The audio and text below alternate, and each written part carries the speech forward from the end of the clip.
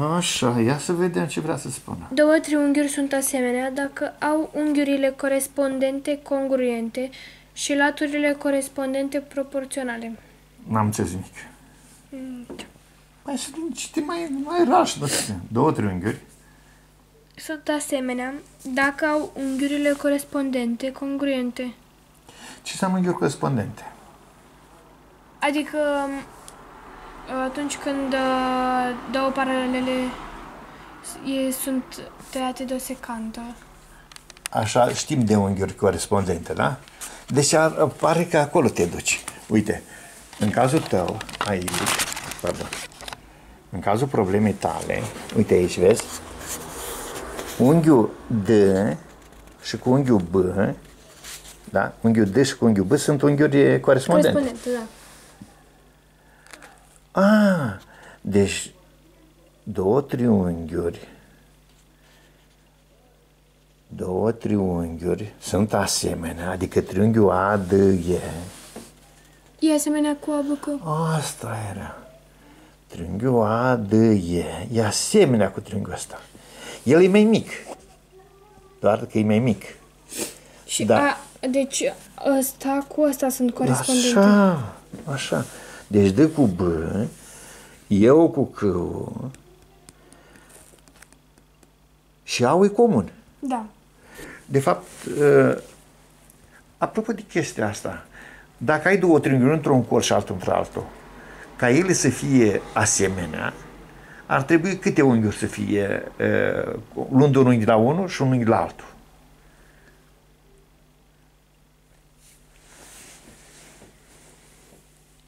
Eu zic că ar fi mai două suficiente. Da. Că dacă ai un unghi de aici, cum ar fi b cu d aici. Deci unghiul A, 1 cu B1.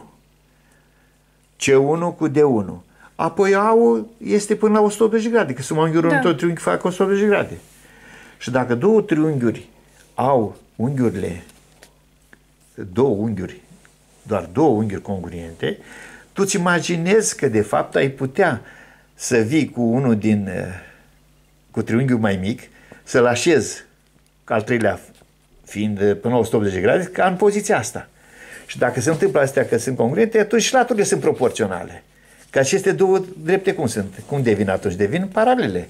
Și Da. vin paralele, conform teoremei eh, două drepte tăiate de o secantă, fiind paralele, îndată poți scrie și raportul laturilor. Da. Adică păi, putea spune că AD supra toată AB egal cu AB supra tot AC și egal cu BD supra BC. BC. Deci, când ai deschis gura și ai zis două triunghiuri sunt asemenea, tu trebuie să s- înțelegi așa că au unghiurile congruente și laturile da, unghiurile congruente și laturile uh, omologe unghiurilor sau opuse unghiurilor proporționale.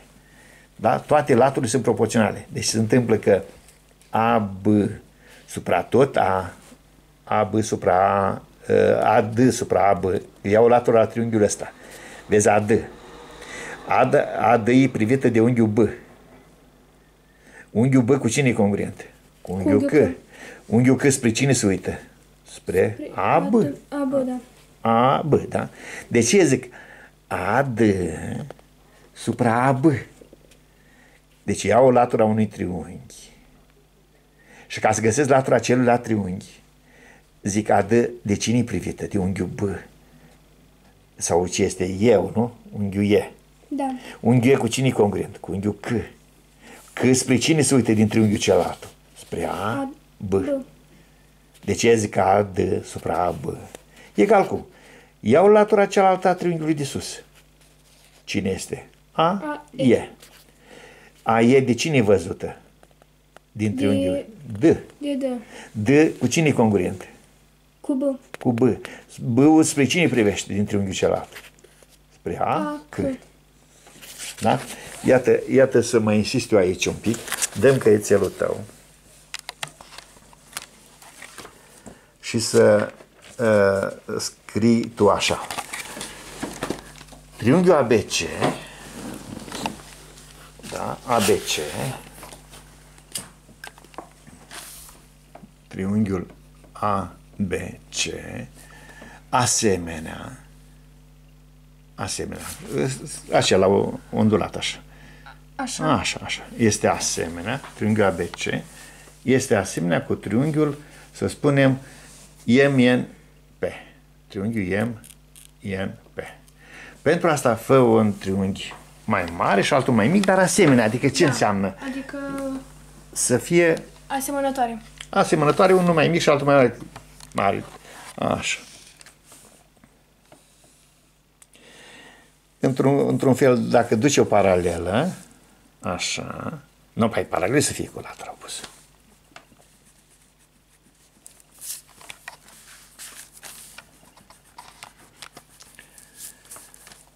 Deci,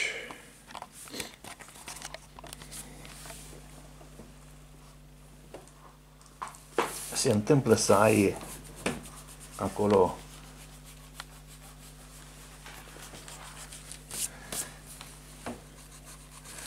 așa. Desenăm triunghiul.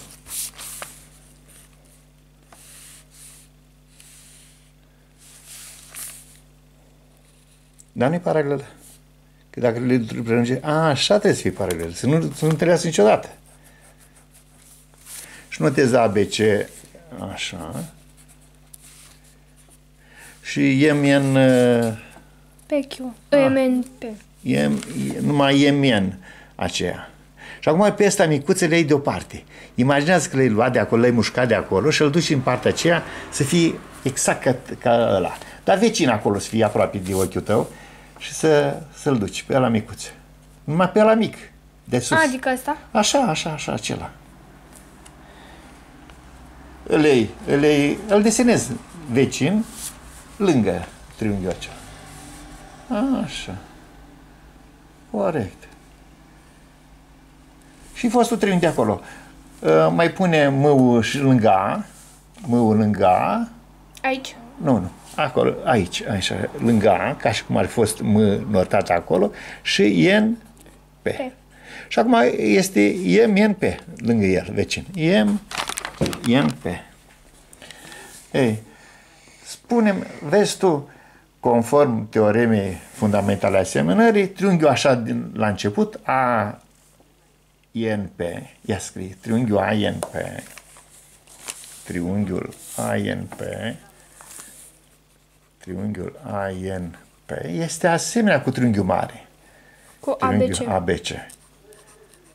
Asta e din teorema fundamentală a asemănării, pentru că a fost dus o paralelă la latura aceea și formează un triunghi mai mic care e asemenea cu triunghiul mare. Și din asemănarea asta poți să spui echivalent ce? Ce au cele două triunghiuri? Unghiul A comun. Da? Unghiul A. Cum? A cu M. A cu M. E A A e cu... comun, comun, să în cuvinte. Unghiul A congruent cu unghiul M, că e, e unghi, același unghi. A congruent cu M, comun. Că îl vezi acolo, nu? chiar din desen. Nu e suprapus acolo. Pe, unghi, pe urmă, ce mai au cele două triunghiuri? Uh, Unghiul N, unghiul N cu B. da, unghiul N, congruent cu unghiul B, Corespondente. așa. Mai au ce? Unghiul P cu C. Da, Tot corespondente. așa. Și uh, A N supra N B Așa. egal cu A P supra P C. Din uh, Tales, nu? Da. Deci an, an supra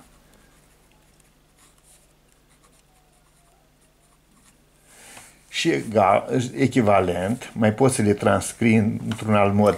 M N supra Nu, nu mecanic, nu mecanic, nu vreau. Până supra A, Nu, nu, B. nu, nu-mi place, nu-mi place. Că tu vrei acum faci efortul să-ți amintești de undeva relația asta, așa Ei, eu acum vreau și insist foarte tare să înțelegi că dintr-un raport poți să obții rapoarte derivate. Și în loc de NB, pe NB, pe AN poți să-l aduni la NB. Adică nu- putem aduna numitorii, numărători la numitori.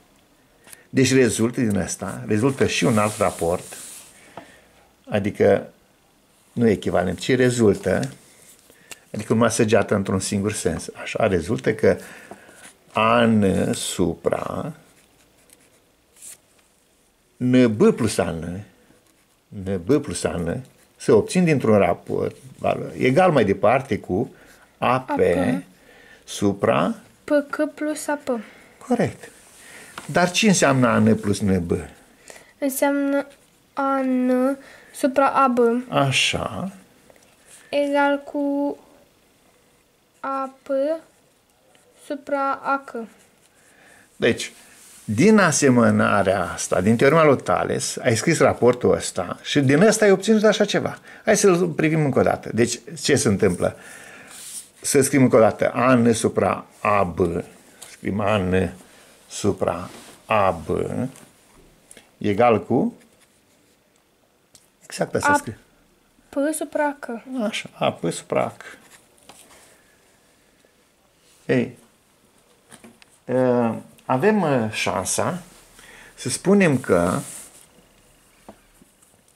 în uh, clipa asta, triunghiul ăsta ANP, uh, ra- uh, raportul poate continua cu NP supra BC. Deci egal mai departe, egal cu cea de-a treia latură, NP supra BC.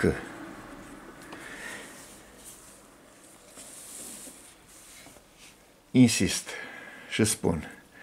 Triunghiul ăsta, ți-ai imaginat că l-am pus vecin aici și este același triunghi de mai înainte. Și atunci triunghiul mare ABC este asemenea cu MNP, este asemenea, dar nu că, numai că e mai mic. Da. El are unghiul M, fost unghiul A, deci unghiul A congruent cu, pe N cu N de aici, pe P cu P. În concluzie, cele două triunghiuri e suficient să spunem că are pe N cu P. N și cu, de aici și cu B de aici, P și cu C. Că al treilea unghi vine până la 180 de grade, că suma unghiilor într-o triunghi cât este? Este 100 180 de grade. de grade. Și atunci înseamnă că al treilea vine în completare. Deci în clipa în care tu vei avea șansa la două triunghiuri privind unul într-o parte și într-o parte și ș- vei avea doar câte două unghiuri congruente, adică B cu N și să